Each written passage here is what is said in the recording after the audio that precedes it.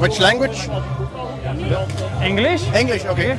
Unless you want Italian or Basque. We, we work for Basque TV. No? I only speak uh, English. Pas français? Un peu, oui. Okay. In English will be fine. Laurent Batella, the first how are you? It has been a, Oh, you're talking on my radio, sorry. it has been a really hard uh, Giro so far, lots of mountain already. How do you feel? Ah, it's been a really hard Giro indeed, uh, but I feel uh, pretty okay. Um, the harder days are like uh, Gran Fondos for guys like me, so uh, it's just waiting for the the moment when the sprinter guys uh, get dropped on uh, on purpose to go to the to the finish on our, on our own pace and uh, in in the time limit. To, to focus on days like today where we can maybe try to get a nice result. Yeah, how to do it then today?